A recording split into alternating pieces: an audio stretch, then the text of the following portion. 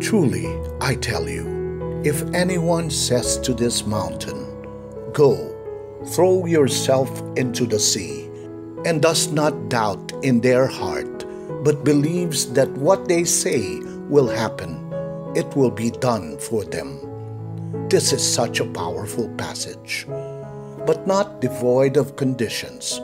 We must ask if it is in God's will to give, and we must abide in Christ for it to come to pass. Remember that it is not you who will perform the task or miracle, but it is God, and God is all powerful or omnipotent. So nothing is impossible for him. That is why in the next verse in Mark 11:24, he teaches us how we should pray.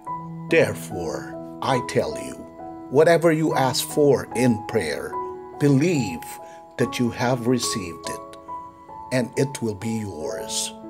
So pray it, believe it, then receive it.